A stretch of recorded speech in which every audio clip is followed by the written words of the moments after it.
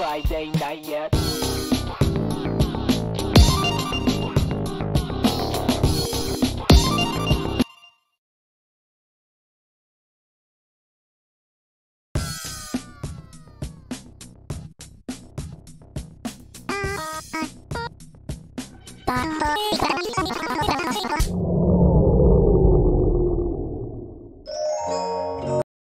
Three, two,